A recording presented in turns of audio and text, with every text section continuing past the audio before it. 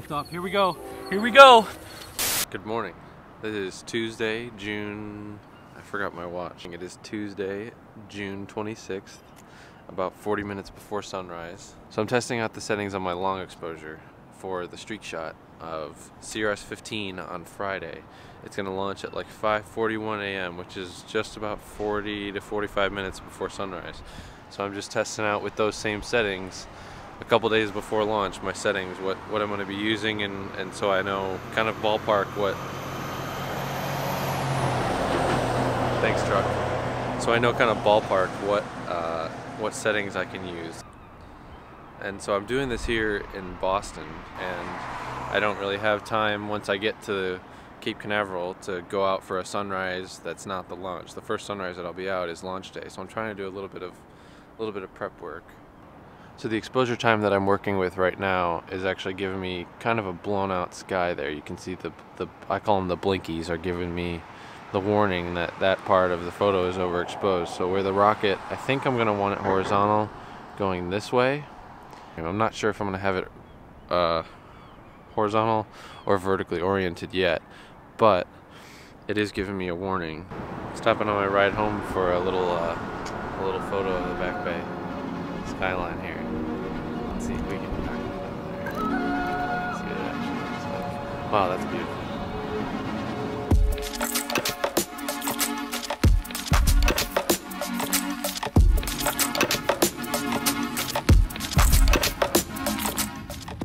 And just like that, we are in Florida. I think we're about to get on the bus and go put these down on the launch pad. It's still drizzling right now just a little bit, so we'll see how that goes. So remote camera setup was very rainy, making video challenging, but I was able to get some footage on my phone. My first camera is hopefully going to be a reflection shot here, if the puddle doesn't dry, we'll see. It's always a dash to get stuff set up on the pad. My other two cameras are a pretty standard wide photo on the right, and my third one on the left is a tight shot of the base of the pad, underexposed kind of like an engine shot, hoping for the best on all of these. I try to leave enough time to hang out, enjoy the view, and see what other photographers have in mind for their photos, but it doesn't always work out. Time to get some dinner, get to bed, because I've got a 3:30 a.m. wake up call in the morning. Good morning. Good morning. I am uh, set up for the launch. It's about 5:12 right now, so just exactly exactly a half an hour from launch right now. Right now. Whew. Nervous. A Dragon's going to be delivering about 6,000 pounds, I believe, of cargo. I'm here at Marina Park in Titusville, kind of overlooking the Max Brewer Bridge, and gonna try and get a streak shot. There's a palm tree I have positioned about yay in the frame, and the rocket I'm gonna try and get it to streak over over the palm tree. So I've been here for about 45 minutes setting up my cameras. It's always a fun sign to come upon when you're uh, walking in the grass around a pond with a headlamp, I guess. Just starting to see morning twilight. Just a very little hint. You can just kind of tell where the horizon is. So I'll show you what my cameras look like here. I'm using a 5D here. I've got some hand warmers rubber banded to them. This is a 16 to 35 on it. And let's see if you can see the palm tree at all. Let me walk up to it. So here's the tree right there. Here's the Max Brewer Bridge right here. And then from back this way, over by the cameras, we should get the rocket to kind of come right up over here. Here's the palm tree, kind of dimly. Go right over there and then right off into that way. So I planned the streak out with a tool called Flight Club. Declan Murphy, who I found on Reddit, came up with it and put a little star map on the actual field view. I'll show you what that looks like in like the web the web app, excuse me, right now. And I'll give you a link in the description. It basically tells you where the in the constellations what constellations the streak will fly through. All you have to do is just frame up like an astrophoto, just like you're going to take a picture of the stars, except you're just waiting for the rocket to fly through it. it makes it really, really easy to plan out kind of heights and and where you're going to be. So, using a combination of Flight Club from Declan and the photographer's ephemeris TPE, um, I can I can figure out which of those orange pylons over there I can figure out which one is where the rocket's gonna come up over. So I think it's gonna be this one, two, three, four, five. I think it's gonna be this sixth one. Between five and six for sure. My second camera here is my 7D. I've got a 10 to 18 more hand warmers. Hopefully stuff staying dry. Let's see. Yes, all good. No dew. Basically just keeping the lens warm enough. Keep it above that dew point essentially. Very rudimentary way of doing it. Some hot hands, rubber bands. The last thing that's left to do is to get my settings dialed in. So I'm gonna do, I think about a two and a half minute exposure on this one. And then on this one, which is like my backup, because I know those settings will be safe. On this one, I'm gonna do closer to three and a half, maybe four minutes down here. All right, so I have to keep my headlamp off, but camera one and camera two are both firing those little lights right there. That's two minutes, 30 seconds. So hopefully the rocket's gonna streak right on through here. You can just see first light there. This one is gonna be safe. This one's gonna be, I switched them. So as I told you before, this one was gonna be the long one at like three minutes something, and the other one was gonna be 2.30 to be safe. I'm putting the safe one on the 7D, and I'm putting the long one on the 5D because it's more capable. So hopefully I might, if, if I blow something out a little bit, I might be able to, excuse me, pull it back. Sorry, I am really nervous, excited, and getting eaten alive all at once. Um, that person is gonna need to turn off their headlights. Uh, we got clean glass, no dew. Let me see if I can get the light around there. No dew there. Uh, no dew there. I think we're good. I think this just might work. I had to run over and ask that gentleman to turn his headlights off. He was very kind. Engine chill has started.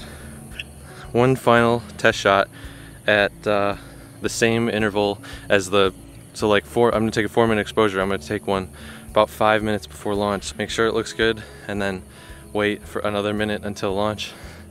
And hopefully it's good to go. Hopefully. Oh, the nerves are real.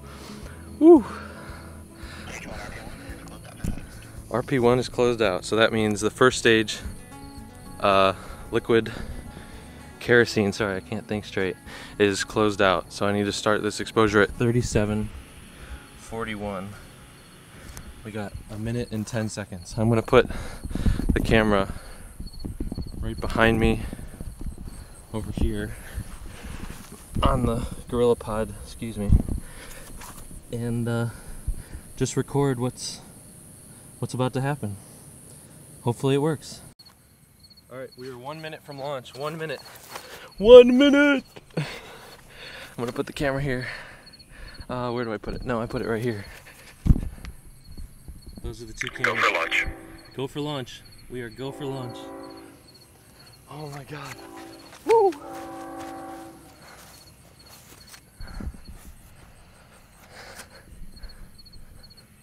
Thirty seconds.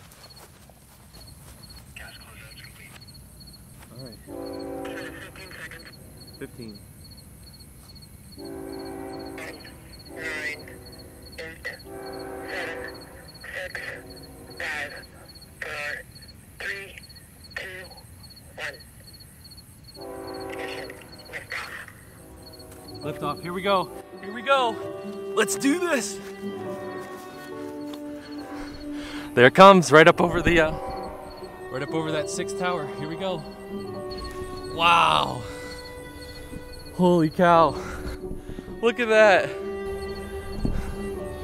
Go Falcon 9. Go Dragon. Alright, telemetry nominal. Telemetry and power nominal. This is everything a photographer dreams for. Sunrise, rocket launch. Now we just wait for the launch, or wait for the sound. I can't think straight. Arcing over. Right over the top of the tree. Let's see how it looks from down here. Look at that, it's arcing right over the tree. Declan, you are a boss. Let's see what it looks like again. I don't want to touch the Fuel has reached maximum dynamic pressure. Hopefully it doesn't go out of the frame. I didn't aim up that high. I don't think it should. That would be a that would be that would suck. That would really suck. I think we should be okay. Look at that, right over the top of it. arcing right over. Here comes the sound.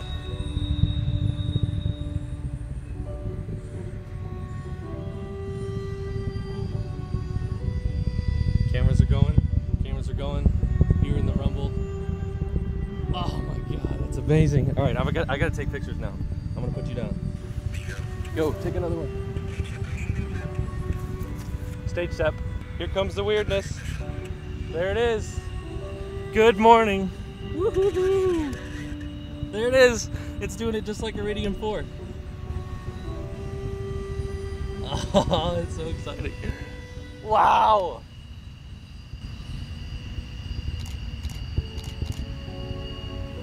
No way.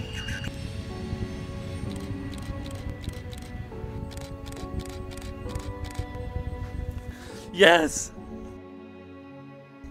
Look at that. There's the streak shot. Woo! We did it! Right over the tree. Holy smokes, man. Look at that. Look at that. Oh my god, I can't be more excited right now. Oh my-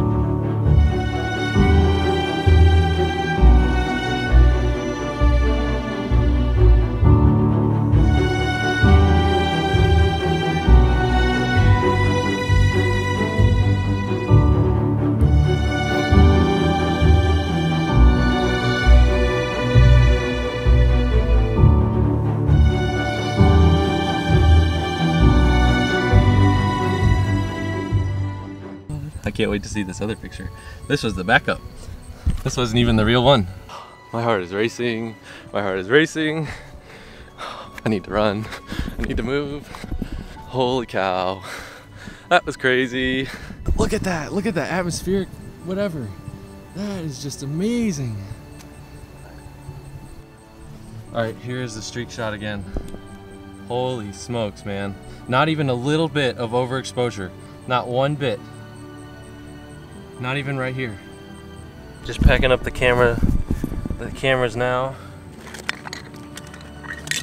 Before I get eaten alive. Here's a picture on the other one.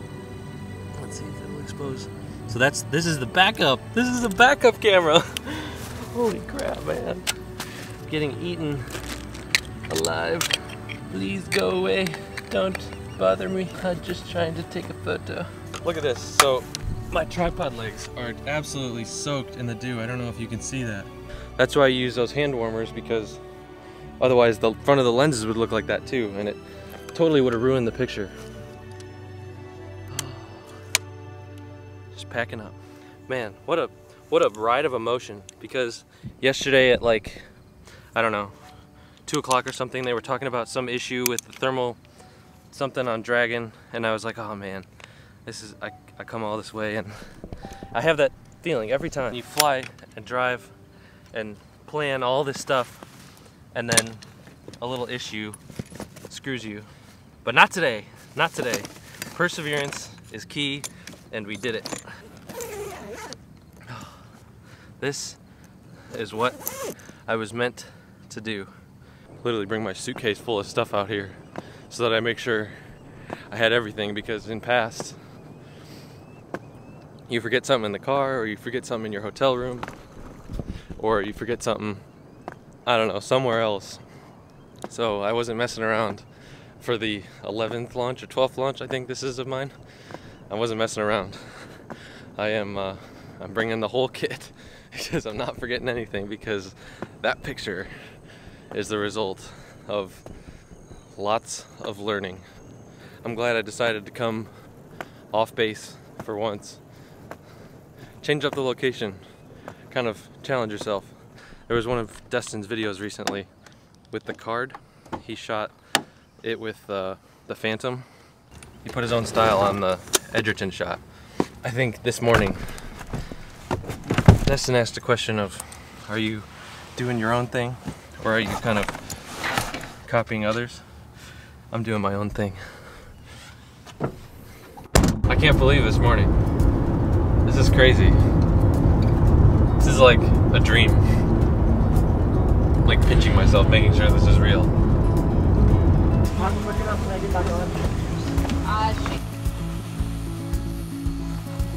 Alright, let's see how we fared.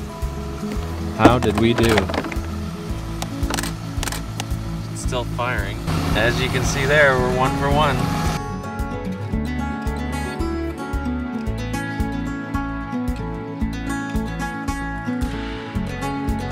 Probably pretty blown out. Well, it fired, but it just didn't do what I wanted to do. That still looks pretty neat.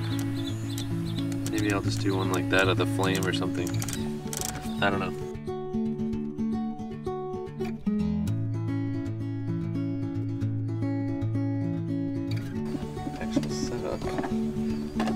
Let's see how he did over here. Looks like the puddle is gone, unfortunately. Let's see how he did. There we go. Alright, so this camera worked too. I consider that a success. Look at that. Look at the uh, exhaust there coming up on the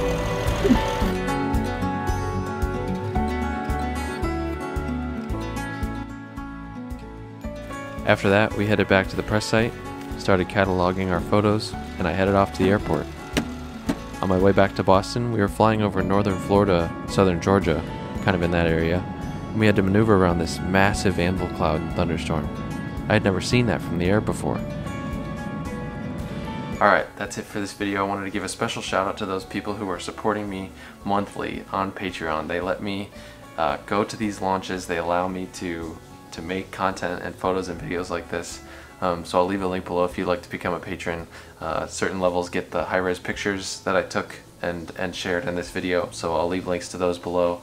I'll leave links to uh, the Flight Club and uh, the photographer's ephemeris, which I use to plan out these shots.